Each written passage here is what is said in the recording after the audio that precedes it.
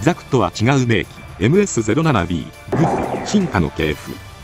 MS-07B グフは機動戦士ガンダムに登場するジオン軍のモビルスーツです。ランバラルが登場しガンダム2ザクとは違う性能の高さを見せつけました。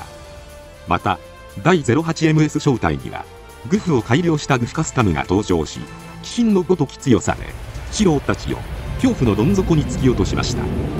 今回はそんなグフとその派生機体の進化の系譜について解説させていただきます。怯えろ少ねえ。モビルスーツの性能を生かせぬまま死んでゆけ。宇宙世紀0079に繰り広げられた地球連邦軍とジオン公国軍の戦いである。一年戦争の開戦当初ジオン軍は破竹の勢いで地球連邦軍勝利を重ねていました。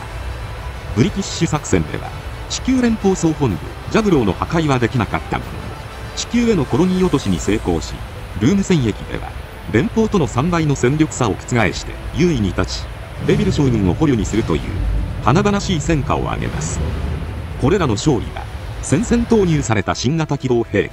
モビルスーツザクによるところが非常に大きいものでした。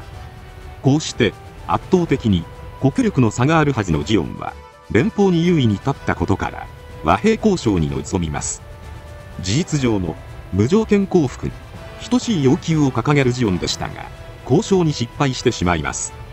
その結果ジオン軍が戦争を継続しさらなる戦果を求めて地球降下作戦を行います。こうして戦場は宇宙から地上へ移っていくことになりました。ジオン軍は地球侵攻作戦用にザク 2F 型を回収して陸戦型となるザク 2J 型を開発しました。